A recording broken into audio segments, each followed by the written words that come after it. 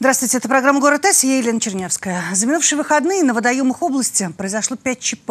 Три человека утонули. Трагедиями закончился отдых на реке Самара и на озере в Падовском карьере. Все эти случаи произошли на диких пляжах. По мнению экспертов, статистика растет из-за жаркой погоды и беспечности отдыхающих. Не теряйте, пожалуйста, бдительность. Вот почему кривая происшествий на воде поползла вверх. Сегодня в этой студии Александр Старов, начальник центра ГИМС ГУ МЧС России по Самарской области, ответит на этот и другие мои вопросы. Здравствуйте, Александр Валерьевич. Добрый день. Ну что же, давайте поговорим на заявленную сегодня тему. А ведь согласитесь ли вы со мной, что от несчастного случая сегодня не застрахован никто, особенно дети. Какая э, статистика происшествий на сегодня? И озвучите, пожалуйста, основные причины трагедий. Ну, с начала года, к сожалению, уже произошло 30 происшествий, в которых 27 человек погибли. К огромному несчастью, трое дети. Э, основная причина, как вы сейчас сказали, да, никто не застрахован. Да, действительно не застрахован никто, но можно снизить риск до минимума. Используя просто, принимая минимальные правила безопасности – в первую очередь, конечно, хотел бы обратить внимание именно на детскую безопасность, да, потому что дети не отдают еще контроль своим действиям, не понимают все опасности того, что происходит и что их окружает, поэтому в данном случае родители, взрослые несут за них полную ответственность и должны больше уделять внимание безопасности непосредственно ребенка. Для этого ни в коем случае нельзя отпускать детей одних купаться. Не надо... Даже если проверенный, вот, как правило, говорят, мы знаем это место, мы здесь каждый год отдыхаем, э, то есть проверенное дно и так далее и тому подобное. Хотел бы сказать, что вот к реке нужно относиться с уважением. Река — это живой организм, да, и как бы мы ни знали из, года в год это дно, каждое лето, после весны, половодья, оно Конечно. меняется, есть изменения. Бывает, что 2-3 года нет никаких изменений, потом раз появилась яма появилась какое-то металлическое, либо деревянная там, коряга, другое препятствие, которое может нанести травму, э, несовместимую с жизнью. Да. жизнью да. Вот, поэтому здесь таких вещей нельзя говорить, нельзя так легко относиться к этой безопасности. Угу. Опять же, повторюсь, если дети идут купаться, нужно сходить с ними. Сходить с ними. Что сделать нужно родителям в данном случае? Дно проверить или как-то обследовать эту территорию? Ну, здесь... Или просто быть рядом элементарно? В первую очередь, конечно, надо отдыхать на организованных пляжах, да, то есть официальном месте, где можно купаться. Во-первых, там есть спасатели, которые могут оказать помощь. Там проверено дно водолазами. И за дно на пляжах, которое ограждено буями, можно с уверенностью говорить, что данная акватория дна безопасна, нет никаких инородных предметов, и вашей жизни ничего не угрожает. В плане инородных предметов, да, нет никаких резких перекатов, э, ям и так далее, куда вы можете ребенок может угу. провалиться и от испуга просто хлебнуть воды, и вот уже начнется происшествие. Александр Валерьевич, ну согласитесь, э, что наш край так богат водоемами, и а, иногда хочется просто вот уехать в какое-то тихое местечко, отдохнуть, чтобы никто тебе не мешал. И, ну, естественно, отдых семейный. Но вот если все-таки поехали на, а, в такие места, как обезопасить себя? Что нужно сделать родителям, взрослым? Вот инструкция какая-то, пожалуйста. Ну, здесь сначала хотел всех предупредить, да. Да, что с этого года определены перечни да, мест, угу. где запрещено купаться. За это можете быть привлечены к административной ответственности, согласно Кодексу Самарской области, там, 500 до 1000 рублей. Это сделано в первую очередь меры не для того, чтобы, как принято с многими гражданами говорить, запугать, брать в кавычках, извиняюсь за такое слово, да, это сделано именно для безопасности людей, чтобы показать и рассказать, где нельзя купаться. Потому что зачастую люди даже не знали, что здесь опасно купаться. Никаких информаций нигде не было опубликовано. Угу. Сейчас это сделано для того, чтобы гражданин мог спокойно открыть средства массовой информации, интернет, любую газету, везде это все есть, и узнать, что да, вот на таких акваториях опасно купаться, лучше сходить в пляж. Но все-таки, если произошла такая ситуация, и вы приняли решение на себя, да, отдохнуть там, где скажем так, это запрещено в первую очередь. Нужно зайти взрослому человеку и пройтись аккуратно, спокойно по берегу, недалеко от берега, то есть там по пояс, по грудь, проверить ногами своими дно, как оно, что там есть, инородное, есть ли какие-то резкие перепады высот глубин, чтобы вы были уверены. Далее, если ребенок заходит в воду, вы должны не только наблюдать за ним и постоянно вести визуальный э, контроль, должны стоять рядом с ним. Зачастую бывают случаи, когда родитель находится от ребенка на приличном расстоянии, смотрит, ну, по какой-то ситуации отвлекся на секунду. Этой секунды более чем достаточно. Вы должны быть рядом, опять же, помните, это ваш ребенок, провести время со своим ребенком, это полезно как вам, так и ребенку. Ребенок будет рад, что какое-то время родители, да, его родственники играют и отдыхают вместе с ним. Детям порой не хватает нашего Конечно, общения. Конечно, нашего внимания, но а потом а, непредсказуемая ситуация может случиться в воде. Вы верно сказали, что это одна секунда, может случиться всякое. И опять же и дно, да элементарно судорогой ногу свело, и все. И здесь, э, как говорится, помочь очень сложно в таких ситуациях. Поэтому еще раз настаиваем, да, если вы все-таки приняли на себя решение такое, ответственность, э, находитесь рядом, не заплывайте далеко. Опять же, в необорудованных местах не надо стараться там переплыть речку, уплыть куда-то далеко. Вполне достаточно для того, чтобы отдохнуть, освежиться в воде, да, зайти по грудь, даже по грудь, зайдя, уже можно вдоль берега плавать. И также ребенок должен находиться рядом. Зачастую все происшествия с детьми произошли именно за отсутствие контроля родителями. Кто-то был рядом, но отвлекся. Были случаи, когда не контролировали просто визуально даже детей. Через долгое время обращали внимание и понимали, что уже ребенка не видят. А вода, ну, это не более минуты, полутора минут. Э, к сожалению, если не оказать первую помощь, то дальше уже идет печатная статистика. Необратимые которая, последствия, да? Да, в этом году возросла. Конечно, есть причина, да, что жарко, но основная причина это именно несоблюдение техники безопасности гражданами. По детям понятно. А что можете сказать, какие рекомендации именно взрослым, а, когда находятся на водоемах и на водоемах глубоких?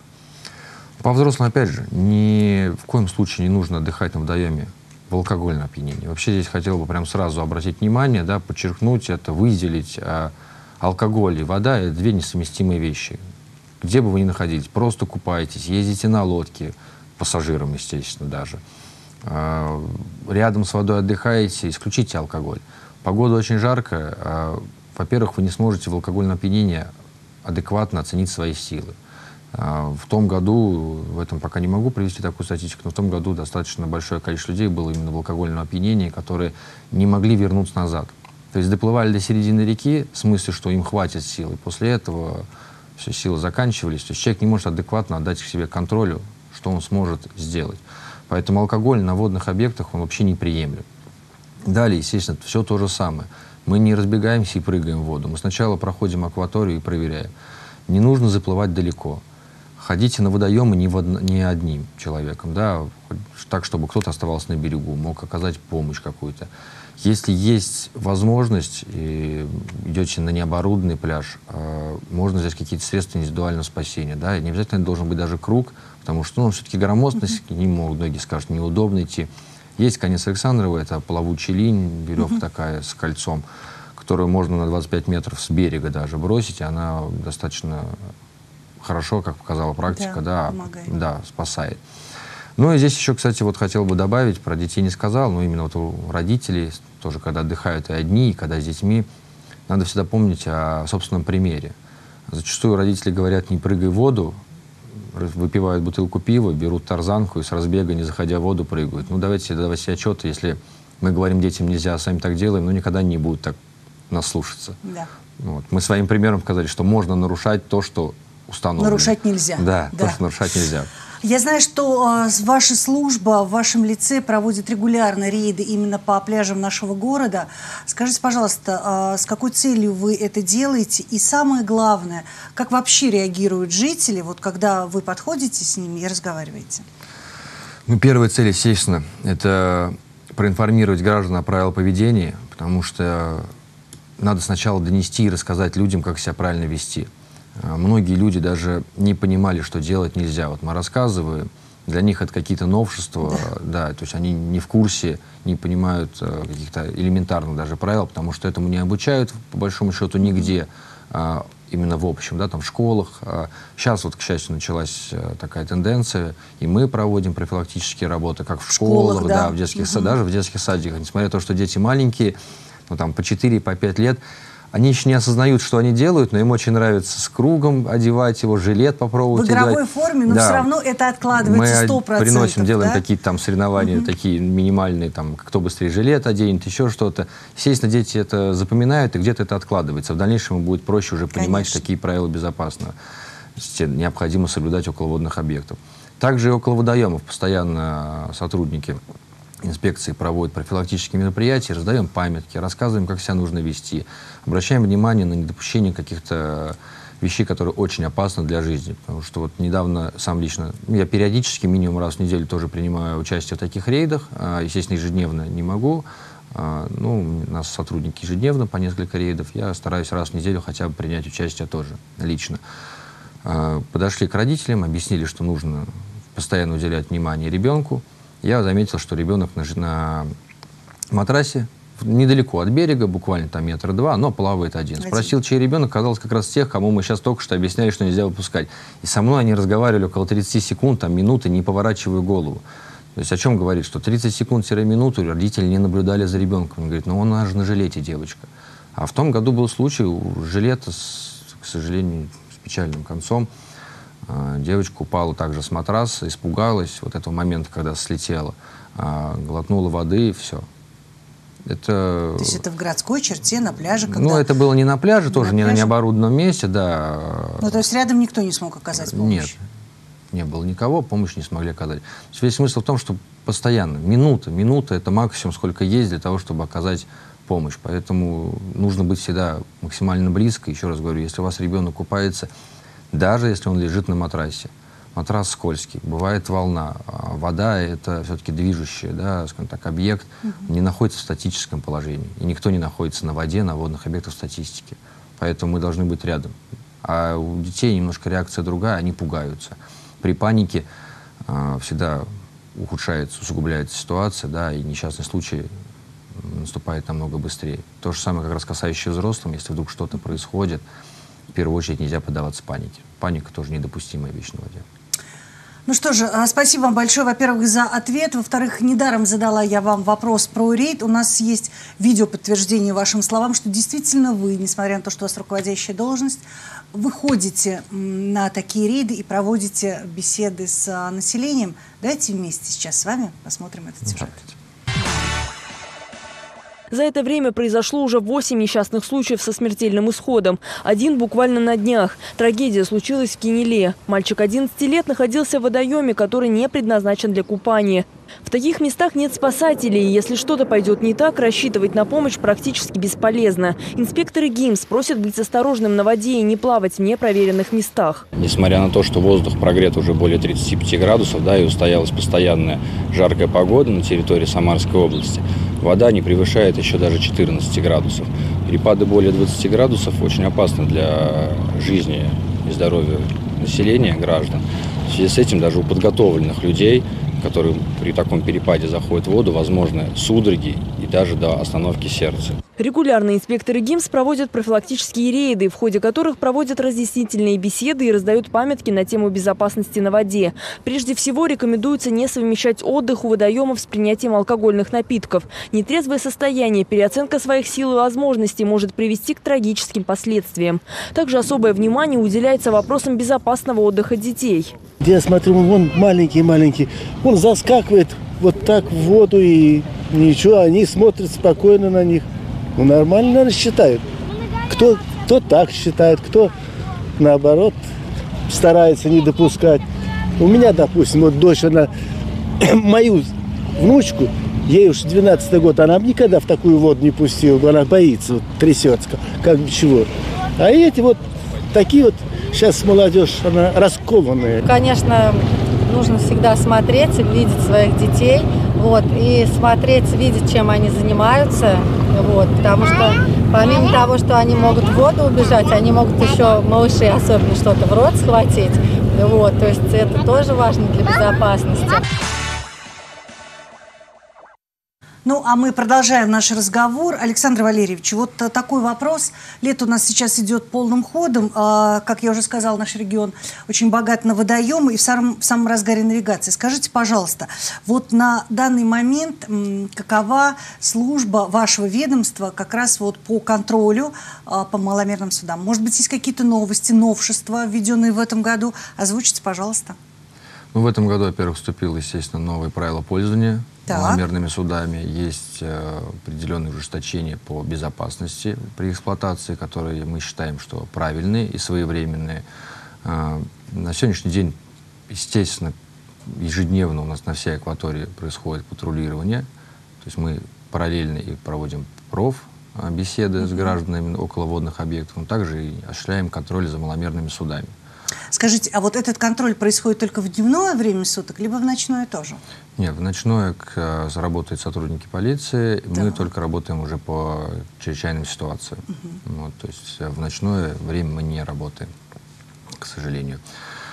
Хотя, да, зачастую ночью тоже происходят определенные нарушения. нарушения. Да. Но на сегодняшний день э, при рейдах вот акцент основной, опять же, делается на соблюдении именно безопасности. Вообще, так. Конечно, нет такого официального озвучивания, да, что ГИМС в этом году год безопасности, но, наверное, негласно у нас действительно очень достаточно большая а, работа идет по безопасности людей на водных объектах. Неважно где, на лодке, около водоема. А, сейчас вышли новые правила, в которых прописано, что при эксплуатации судна количество индивидуальных спасательных жилетов должно быть ровно такое же, как и количество пассажиров. Да. Не в зависимости от пассажировместимости лодки, вот сколько на борту, столько и жилетов. Достаточно большой штраф, могу сказать, что штраф от 15 до 20 тысяч, он очень большой.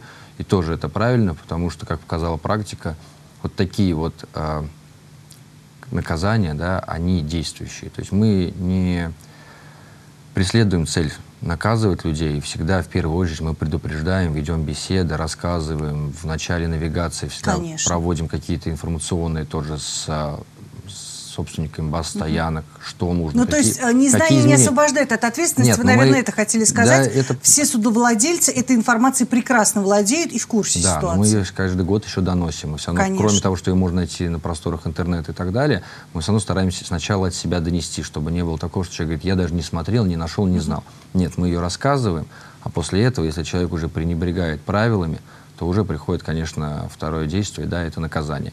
Как показала практика, после наказания, после первого с такими большими штрафами, исправляются на следующий день. Да, на следующий день. Ну, а я сейчас хочу немножечко вот э, уточнение такое сделать. Вы сказали, что количество жилетов должно соответствовать количеству пассажиров.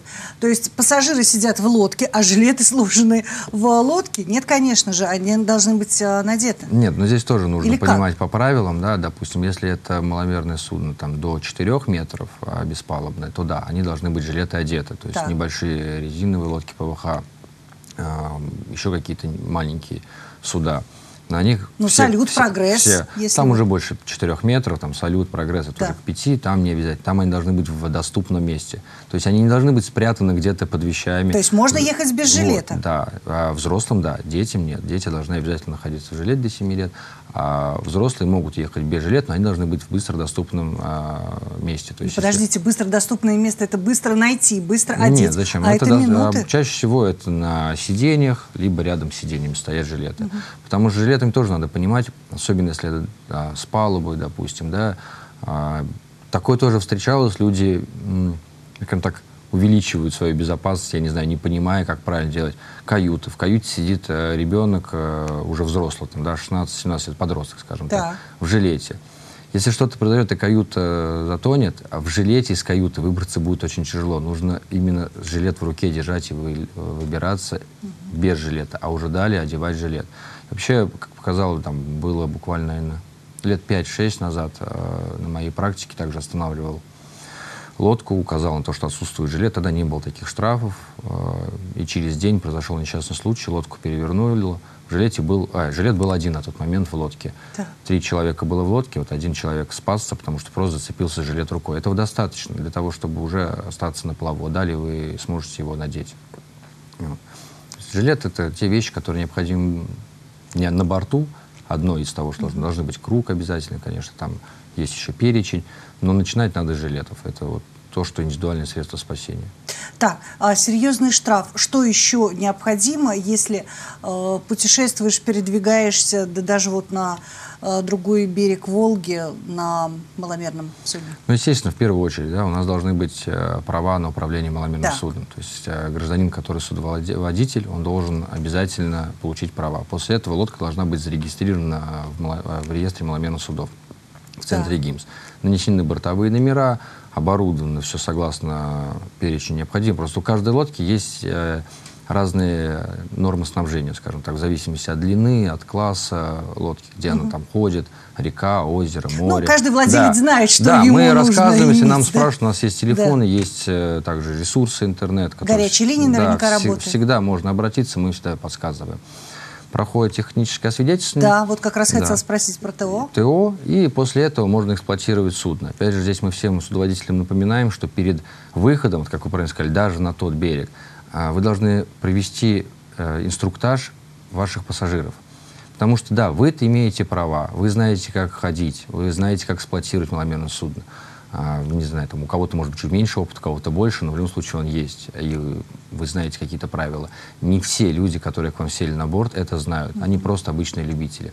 И часто бывает такое, что когда лодка едет, мы останавливаем, говорим, зачем через борт нагибался? Конечно. Переваливаешься. А я не знала. Идут брызги, да. интересно, весело, жарко, приятно, я играюсь.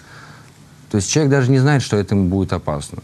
А, это должен именно судоводитель перед тем, как выйти, рассказать. Сказать, где находится, опять же, индивидуальные средства спасения, да, жилеты. То есть это все должно быть проведено. На самом деле это занимает там 2-3 минуты. Mm-hmm. Не надо там учить человека управлять маломерным судном. Надо просто рассказать основные э, моменты да, безопасности, что нельзя там ходить во время движения, нужно держаться, потому что на волне лодка там подпрыгивает и так далее. Может произойти что угодно. Вот. Ну, ни в коем случае там, нельзя катать на носу, если нет необорудованного места. Такое тоже сейчас, к счастью, стало все меньше и меньше. Уже, наверное, в этом году я еще не видел такого. Но вот года два-три назад это было, когда на носу и детей возили, останавливали, говорили, понимаете, что ребенок, если упадет, ничего невозможно будет сделать, все. То есть, а это ваш ребенок, вы своими руками подвергаете опасности. Да, его такому риску и опасности, жизни, да. да. Хорошо. А скажите, пожалуйста, а достаточно ли вот сейчас у вас технических средств, чтобы проводить все а, профилактические мероприятия, которые у вас запланированы, я знаю, что в течение всего года? Ну, скажем так, на сегодняшний день их э, вот в минимальном таком уровне достаточно, mm-hmm. то есть мы осуществляем контроль везде, но, конечно же, водные объекты Самарской области вообще достаточно большие, да, у нас там Волга более 350 километров только протяженности, я не говорю про другие реки и озера. Mm-hmm. И хотелось бы увеличивать как техническое снабжение, но на сегодняшний день даже не столько техническое, сколько именно людей. Человеческое, да? Да, человеческий угу. фактор. А, у нас не хватает кадрового резерва, да. В связи с этим, да, мы, конечно, всегда рады людей, кто хочет у нас работать, э, скажем так, отдавать свою вот жизнь, да, свою вот профессию вот именно уделить тому, чтобы угу. помогать людям, объяснять, как правильно себя вести, вести. Еще раз повторюсь, основная цель с работников ГИМС, у нас вот у всех в голове это, и мы все так себя ведем, это профилактическая работа. Мы стараемся, для нас наказать это вот хуже, чем объяснить. Мы лучше объясним, если он понимает, мы только рады, потому что нет у меня желания наказывать людей, не хочу я их наказывать. Я хочу, чтобы просто не происходили несчастные случаи. А, расскажите, пожалуйста, о вашей повседневной работе. Вы сказали, что вы объясняете, профилактируете. Но вот, э, тем не менее, каких случаях вы просто вынуждены а, прибегнуть к административному наказанию? Ведь наверняка а, первый раз можно объяснить как-то, если видишь, что человек а, тебя слышит, тебя понимает. Попадаются ли повторно такие нарушители? Если да, то какая административная ответственность? Ну, если, конечно, нарушение а, предусматривает административное наказание, в любом случае применяется административное наказание, там уже в зависимости от статьи, если есть предупреждение, то мы предупреждаем, если там штраф, то на первый раз просто стараемся выписывать минимальный штраф. А далее уже, естественно, повышается Какие грубые сумма, нарушения сумма можете штрафа. привести? Самые грубые и самые частые это у нас непрохождение технического освидетельствования. На самом деле это так. очень часто, несмотря на то, что он проходит раз в пять лет всего. Разве? Да. Вот, лодка раз в пять лет, вот, а не каждый год нет, перед тем, нет, как нет, начинается нет, сезон? Нет, лодка раз в пять лет, поэтому достаточно, скажем так, мягкие да, угу. правила по данному виду. Подождите, ну а как же поменять масло, проверить мотор? Это мы уже не проверяем. Это а, непосредственно уже... делает каждый год сам а, судоводитель. Э, На свое да, усмотрение? Ну, естественно. А мы проверяем именно комплектацию, оборудование, так. чтобы лодка была безопасна. Вот раз в пять лет мы проверяем. Так установлены нормы законодательства. И все равно есть большое количество людей, кто его не проходит. Угу. Не, не знаю причину. У каждого основная она забыл, но это такая причина, которую угу. так говорят. Как я всегда говорю, когда торможу людей, да, объясняю, рассказываю, говорят, забыл. Я говорю, ну нет еще человека, кто сказал, я виноват. Да. Хотя можно было бы признать, сказать, ну, виноват и виноват, и исправиться. А, далее... Сколько штраф за такое нарушение, за 5 тысяч рублей. От 5, 5 до 10. Рублей. Да. Угу. Просроченный срок действия прав. Зачастую люди не смотрят, что у них заканчиваются права и продолжают ездить год, два, так, ну а права на управление маломерным лет, судном 10, 10 лет, лет да. как и автомобильные да, права, поэтому можно проверять, да, и все как бы написано, знать, срок действия, как, когда выдано, когда срок действия Если истекает. заканчивается, нужно идти в службу ГИМС? Да, написать заявление, предоставить медицинскую справку, оплатить там госпошлину 650 рублей – все это подает через госуслуги. Через госуслуги и день в день можно наверняка все ну, это сейчас сделать. А, зимой это делается быстрее. Нет, у нас не день в день, у нас там до 15 дней. дней. Вот, поэтому замену мы всем рекомендуем производить зимой, когда не сезон, лодки у вас стоят, вы не торопитесь. А, ну, еще раз повторюсь, зачастую люди об этом вспоминают только после ну, того, конечно, как появляется когда начинается сезон. Да, конечно. до этого никто как-то забывает про это. Нерегистрированных лодок тоже. Так. Ну, сейчас становится меньше уже, но присутствуют еще. Вот. Ну, как я говорил в самом начале, да, с жилетами. Сейчас вот показала практика, за последний месяц данное нарушение подходит прям к минимальному, потому mm-hmm. что граждане друг другу рассказали, мы проработали, все, все закупили, обеспечили, снабдили, снабдили лодку непосредственно по нормам и ездит уже спокойно. Скажите, а вы выписываете штраф, он оплачивается, ну, также по реквизитам, которые вы даете, если есть возможность расплатиться на месте, каким образом происходит здесь, вот если провести аналогию с автомобильными э, нарушениями и штрафами? Ну, по штрафам э, выписывается постановление, э, есть реквизит, оплачивается в любом банке, онлайн через банк да? можно оплатить все. На месте никаких оплат невозможно. А, у нас нет никаких приемов терминалов, и законодательно это не предусмотрено. Да. Поэтому только выписанное постановление, 10 дней есть на обжалование, после этого 60 дней на оплату, угу. в течение которого необходимо оплатить штраф.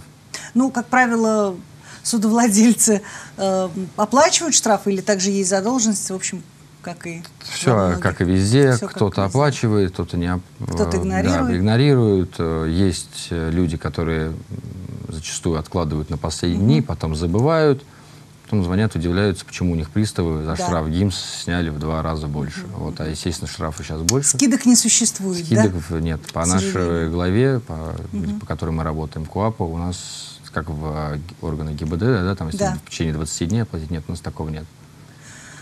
Хорошо. А, скажите, пожалуйста, еще бы хотелось вернуться к правилам безопасности поведения на воде. Давайте мы их еще раз напомним, потому что лето в этом году выдалось жаркое. А, водоемы, люди отдыхают. Давайте еще раз озвучим все-таки для детей и для взрослых, о чем в первую очередь нужно всегда помнить и держать в голове, когда ты едешь отдыхать на водоем, если ты отдыхаешь э, на воде или если ты отдыхаешь уже непосредственно с применением маломерного судна. Ну, в первую очередь гражданам хотел бы напомнить, что, как я уже говорил ранее, ни в коем случае нельзя совмещать отдых на воде с алкоголем. Это первое правило, которое нельзя пренебрегать и нарушать ни в коем случае. Далее, в момент отдыха у водных объектов э, принимайте решение все-таки отдыхать на официально оборудованных местах для этого, то бишь пляжи, где есть спасатели, где проверена акватория, где качественный песок, где вашей жизни не угрожают никакие посторонние предметы, вы можете спокойно отдыхать. Ни в коем случае никогда нельзя не только не выпускать детей из виду, но и даже отходить от них. Будьте максимально рядом с ними, отдыхайте, купайте, загорайтесь рядышком. При отдыхе на пляжах э, помните, что температура воздуха всегда выше, чем воды, поэтому не нужно резко окунаться в воду, необходимо зайти, э, постоять к воде, привыкнуть, потому что перепад 20 градусов для даже здорового человека могут быть принести несчастный случай да, и вызвать неприятные последствия. При, купании, при эксплуатации маломерных судов, так же, как и все, что я говорил на воде, да, это алкоголь отсутствовать, обязательно никакого алкоголя, мы должны его исключить.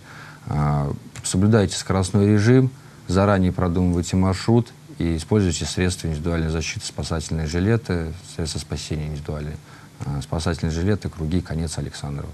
Ну, а мне хочется а, сказать огромное вам спасибо за сегодняшнюю беседу. Несмотря на такую жаркую пору, что вы нашли время, пришли и рассказали а, все новости нашим уважаемым телезрителям. И мне хочется добавить, будьте аккуратны, будьте безопасны и, конечно же, хорошего летнего отдыха. Спасибо всем тем, кто был сегодня с нами. Посмотрели программу «Город С». Всего хорошего. До свидания.